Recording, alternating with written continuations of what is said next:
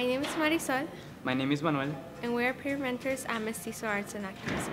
It is a program where high school students get the opportunity to learn terms that we discuss in ethnic studies class, and also they receive help and support to apply for college.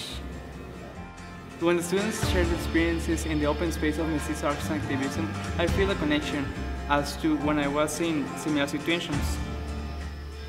I was part of this program as a high school senior, and it allowed me to think differently of who I am.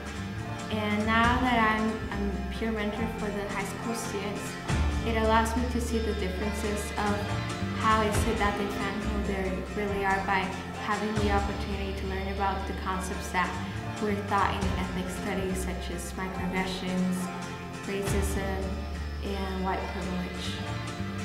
The students of Mestizo have the opportunity to express their ideas without being afraid.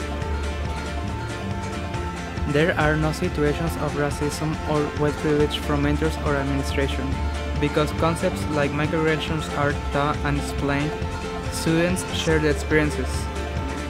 A microaggression is usually given as a compliment, but it's not.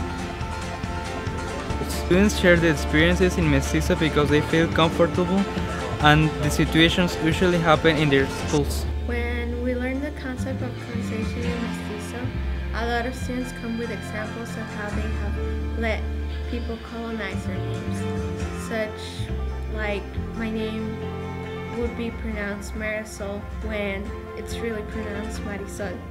Uh, it's just a way of letting others colonizing you by letting them change your pronunciation, your language, that's just one of the few examples that students give at this Mestizo about colonization. Thanks for watching.